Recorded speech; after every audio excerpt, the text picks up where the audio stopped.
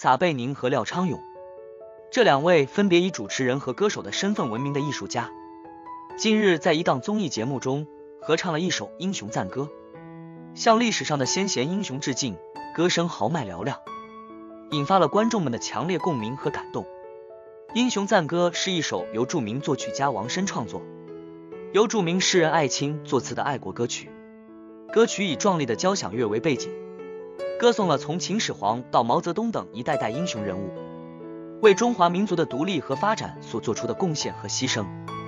歌曲在一九四九年首次公开演唱，后来被收录在《中华人民共和国国歌集》中，成为了一首经典的红色歌曲。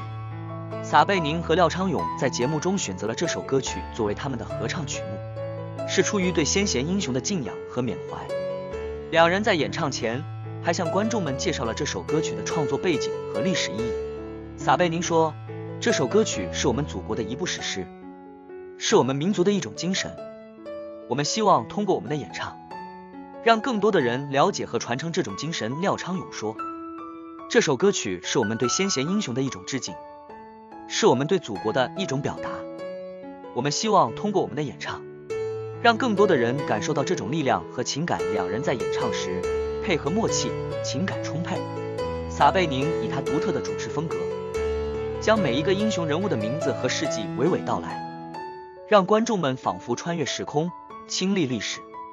廖昌永以他深厚的歌唱功底，将每一个音符和词句都发挥的淋漓尽致，让观众们感受到了激情和震撼。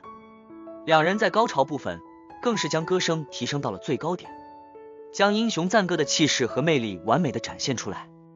两人的演唱结束后，现场掀起了热烈的掌声和欢呼声。许多观众都流下了激动的泪水，表示被两人的演绎深深打动。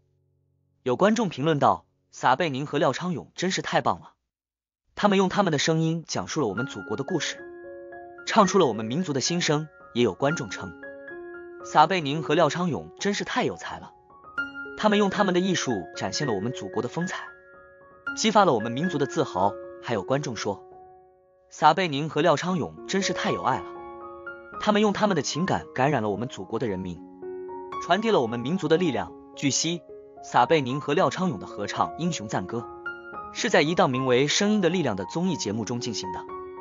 该节目是一档以声音为主题，展现不同声音背后的故事和情感的节目。该节目由著名主持人李静担任主持，每期邀请两位不同领域的嘉宾，通过声音进行交流和对话。